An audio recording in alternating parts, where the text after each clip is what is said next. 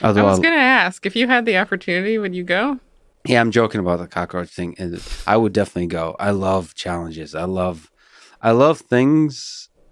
I love doing things where the possibility of death is is uh, not insignificant.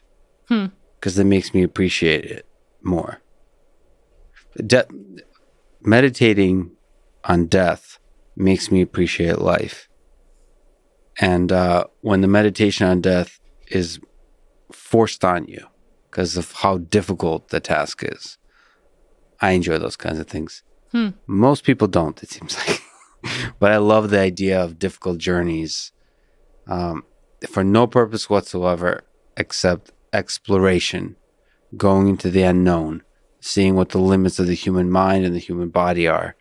It's like, what the hell else is this whole journey that we're on for? Like, I, I, uh, but it could be because I grew up in the Soviet Union. There's a kind of love for space, like the the space race, the Cold War created. I don't know if still it permeates American culture as much, but especially with the dad as a scientist, I think I've I've loved the idea of humans striving out towards the stars always, like from the engineering perspective Mm-hmm. has been really exciting. I don't know if people love that as much in America anymore. I think uh, Elon is bringing that back a little bit, that excitement about rockets and Yeah, uh, going out there.